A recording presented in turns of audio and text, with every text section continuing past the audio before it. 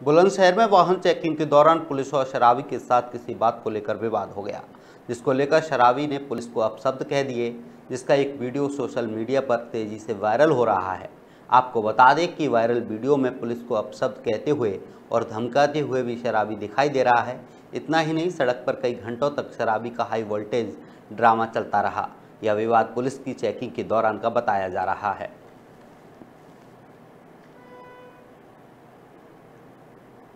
जमीराबाद चौराहे पर एक होमगार्ड था जो कि वहाँ ट्रैफ़िक का काम देख रहा था।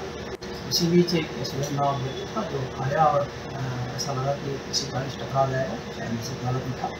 उसको उसने रोकने का प्रयास किया, उसको उसने उसको चाका मार दिया। तो सिपाही आए, उनके साथ भी उसने हत्या की।